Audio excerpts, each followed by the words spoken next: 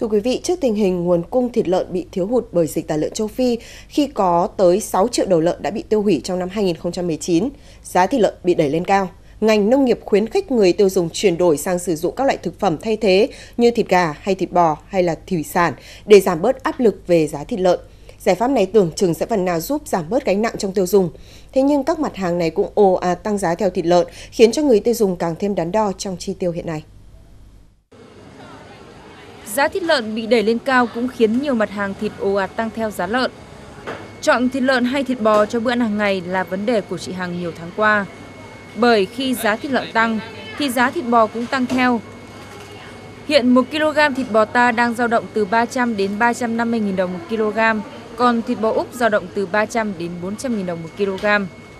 Mức giá này đã tăng khoảng 30 000 đồng so với tháng trước. Nói là ăn ờ, thịt ờ, gà Ờ, và cá cái gì đấy thì cũng đều tăng theo cái giá thịt lợn hết.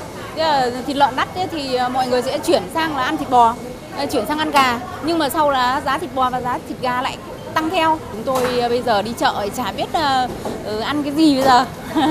Thế cho nên là cũng còn đắn đo lắm. Đi xem giá cả xem là thế nào.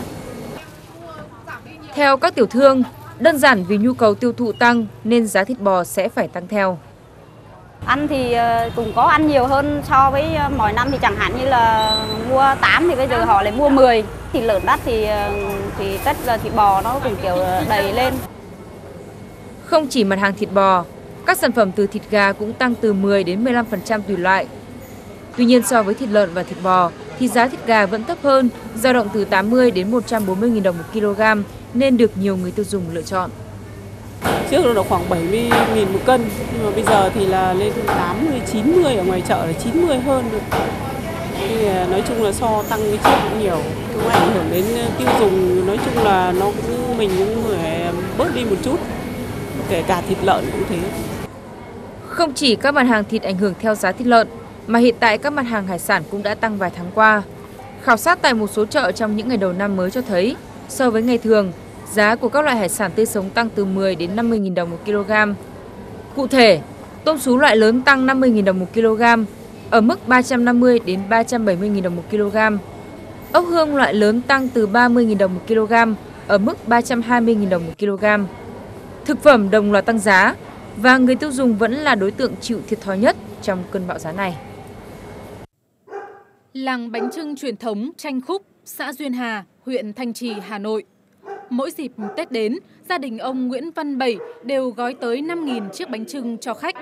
Năm nay, giá thịt lợn tăng cao đã khiến giá bánh trưng tăng theo. Số lượng khách đặt bánh vì thế cũng ít đi. Mọi năm mấy năm các thứ thực phẩm các thứ nó đều rẻ thì là có khi là có nhà ta đặt như vậy là một chục cái hoặc 15 20 cái. Có khi đắt này tình hình mà thời thế mà nó đắt như này khi ta chỉ mua một cái hai cái thôi. Đấy nó theo gia đình đấy. Nếu mà là đắt quá thì người ta không ăn mà rẻ quá thì không có lại thế thì bây giờ ông phải để chờ đến gần tết thì xem liệu mà tính toán để xem nó làm như thế nào cho nó phải chăng giữa cái người ăn và cái người bán làm nào cho nó thuận tiện cả đôi đường giá thịt lợn tăng cao kỷ lục rồi lại giảm nhẹ kéo theo giá bánh trưng cũng không ổn định nhiều hộ lo lắng giá thịt sẽ tăng mạnh trở lại vào dịp sát Tết khiến sản xuất bánh trưng cũng bị ảnh hưởng. Bây giờ thì chả biết thế nào được. Bây giờ giá cả ở thị trường nó bấp bênh. Nghĩa là ngày hôm nay giá ngày hôm nay, ngày mai nó lại lên. Cho nên cái này phải từ đến Tết thì cứ phải đến Tết mới biết. Chứ không thể biết được ngày hôm nay chỉ biết ngày hôm nay thôi. Ngày nay là đấy ví dụ thịt 15, nhưng mai đây là bảo là 15 rưỡi, ngày kia nó bảo 16. Cho nên mình không không thể biết được đâu. Mỗi ngày nó có giá một một ấy mà. Giá cả nó mỗi ngày. Còn đầu gạo thì là nó chuẩn rồi. Còn mỗi canh thịt là nó bấp bênh rồi. Trong khi nhiều cơ sở đau đầu lo nguồn cung thịt lợn cùng giá cả tăng cao, thì cơ sở sản xuất giò chả này đã có giải pháp. Đó là chủ động liên kết với các trang trại theo chuỗi. Do đó, giá giò chả năm nay chỉ tăng 10% so với năm trước. À, như năm ngoái vào thời điểm này thì chúng tôi cũng bán được khoảng từ 4 đến 5 tạ nguyên ờ, nghĩa là thành phẩm từ nguyên liệu bằng thịt lợn Ờ, thế nhưng mà tuy nhiên thì năm nay thì cũng do là do dịch tả châu Phi thì thành ra là cái nguồn nguyên liệu là cũng khan hiếm. Nhưng mà tuy nhiên thì chúng tôi cũng xây dựng được những cái chuỗi và ờ, nuôi trồng khép kín. Thế cho nên là cái nguồn nguyên liệu của chúng tôi cũng khá là bình ổn và ừ, cũng có tăng thì tăng tăng so với năm ngoái tăng nhẹ chỉ khoảng 10%. Chúng tôi vẫn cố gắng để giữ được bình ổn giá để nâng cao giá trị cho người tiêu dùng. Tết cổ truyền đang đến rất gần, trong đó không thể thiếu bánh trưng, giò chả.